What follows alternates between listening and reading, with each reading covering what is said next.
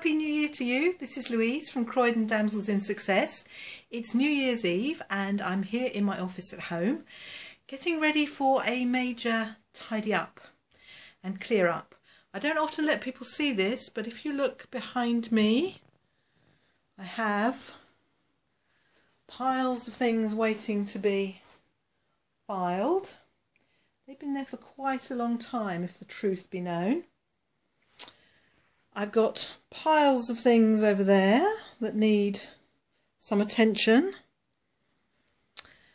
Because what I did was I got all the other rooms in the house ready for Christmas. So all the boys' bedrooms were tidy, so they'd go in there. The kitchen was tidy, so we could prepare all the food.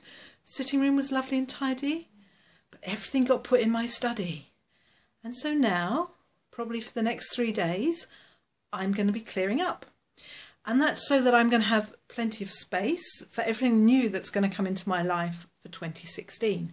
And I know it's going to be amazing. Lots of things have changed for me in 2015. So I'd love it if you could join me and my Damsels members in Croydon on Friday, the 8th of January, for our goal setting for goddesses meeting. And what we're going to be doing then is celebrating our achievements in 2015 and looking forward to what we are going to do in the upcoming year. So that's Croydon Conference Centre, 9.30 in the morning, uh, Croydon Damsels in Success. The button to register is down below. See you then. Bye.